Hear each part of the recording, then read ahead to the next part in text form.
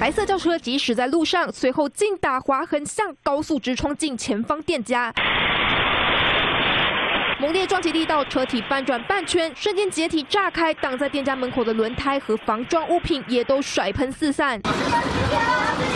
事发台九线台东四百二十五点一公里处，二十八日晚上六点多，女驾驶载了乘客不明原因失控冲撞进一家海产店门柱，两人当场失去生命迹象，双双丧命。酒测值鉴定中，详细肇事原因调查厘清中。失控酿意外的还有这水泥预拌混凝车，一个转弯重心不稳，压弯翘过链，整辆车重重往右偏，疑似因为超载失控翻车，猛烈侧翻造成夜行驾驶送医抢救中，国道则是离谱撞护栏。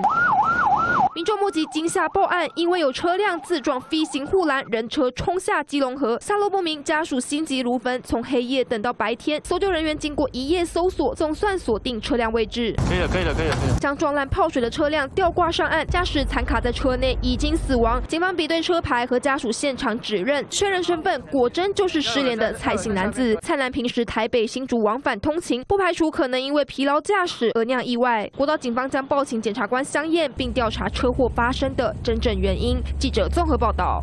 我是方艳迪，主播工作让我学习倾听所有人的意见，也要保留自己的判断。